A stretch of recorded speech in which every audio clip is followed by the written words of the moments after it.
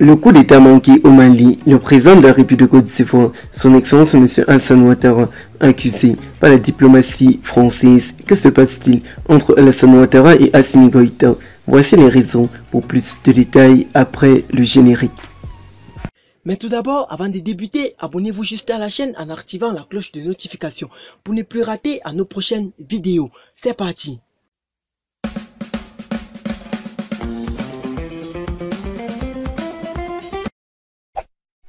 En marge du sommet Europe-Africain tenu à Bruxelles en février dernier, le chef de l'État de Côte d'Ivoire, son Excellence M. Alassane Ouattara, a accordé une grande interview à la Radio France Internationale, en abrégé RFI, et aussi à France 24.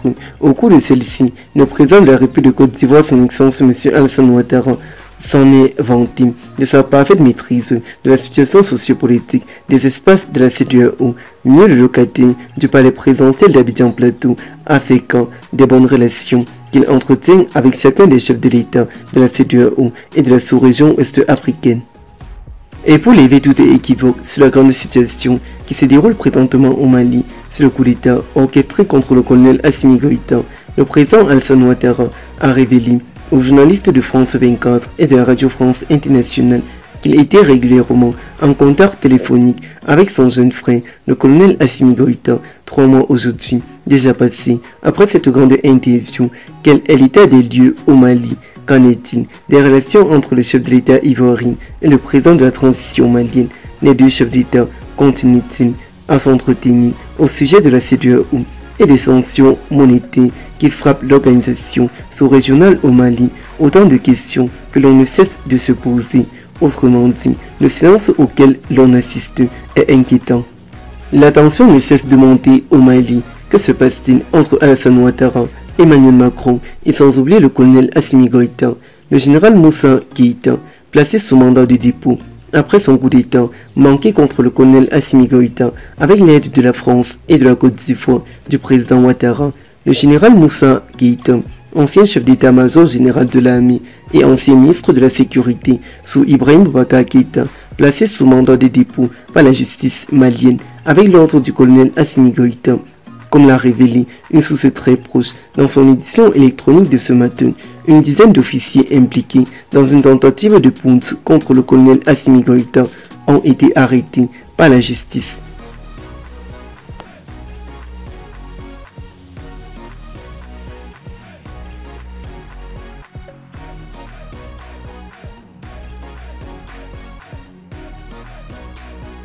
Selon nos informations à notre disposition, d'autres officiers supérieurs de l'armée malienne sont placés sous mandat de dépôt pour malversation dans la gestion des fonds de la loi de programmation militaire. C'est ainsi que la France d'Emmanuel Macron, impliquée dans ce coup d'État, manqué contre le colonel Assimi Goïta, sans oublier Alassane Ouattara. Un coup d'État manqué contre le colonel Assimi Goïta au Mali, Guillaume Soro profite de l'occasion et lève de la voix dans le milieu de la politique. Dans la nuit du lundi au mardi 17 mai 2022, Keita Gou, alias Keita Kotsifo, a présenté ses plats d'excuses à M. Guillaume Kibaforisoro pour les propos discutoires tenus à son encontre lorsqu'il était proche du pouvoir en place. Cette déclaration s'est faite dans un élément vidéo publié sur sa page officielle Facebook au soir de sa grande déclaration annonçant son retrait du parti au pouvoir, le rassemblement des footistes pour la démocratie et la paix, en abrégé RHTP. Je présente mes excuses à M. Guillaume Kibaforisoro. Aujourd'hui, je suis délivré de la haine et de la grande jalousie que j'avais pour lui et le GPS, a-t-il déclaré via sa page officielle Facebook. Quelques heures après avoir annoncé son retrait du parti au pouvoir, le rassemblement des fautistes pour la démocratie et la paix. Soucieux de sa condition socio-professionnelle et dans l'incapacité d'obtenir un emploi par le biais des cadres du parti au pouvoir, malgré ses nombreuses tentatives, Keita Côte a fini par rompre le silence. Il a fini par rompre le silence à travers le RHTP.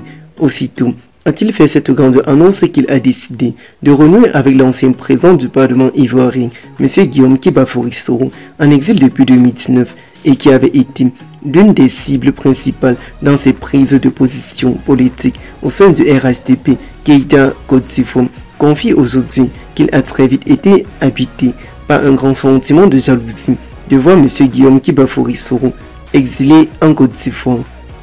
et qu'il a cru obtenir des récompenses de la part de son parti politique qui n'est autre que le RHTP en s'attaquant à un adversaire politique qui n'est autre que Guillaume Kibafourissoro.